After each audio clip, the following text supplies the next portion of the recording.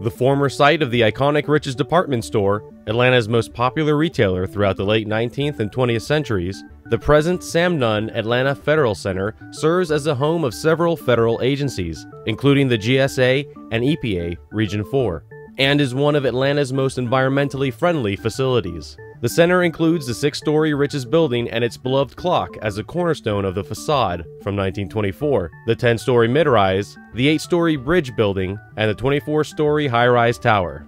Utilizing American Recovery and Reinvestment Act funds, the 2.6 million project renovations goals, consistent with the General Services Administration's roofing program, were to provide thermal and moisture protection, conserve energy and the environment, reduce utility costs, and help attain energy security by meeting Energy Independence and Security Act requirements.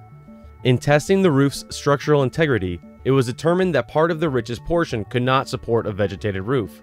It was changed to a white 60 mil Tremco cool roof.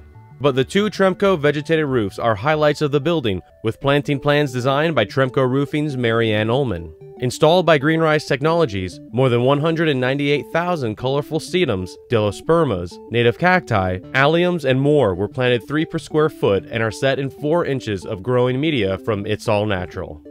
The combination of roofing systems is meeting the project goals, providing such benefits as lower installed costs than planned, cutting heating and cooling costs, reducing stormwater runoff by more than 600,000 gallons, and reducing the strain on rooftop HVAC equipment.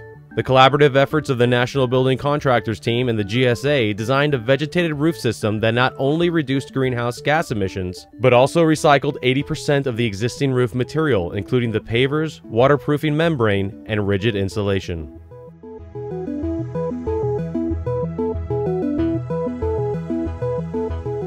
For more information about this project and many more, explore the Green Roofs Projects database at greenroofs.com. Then join our mailing list so you don't miss out on any of the Green Roof news and upcoming projects of the week.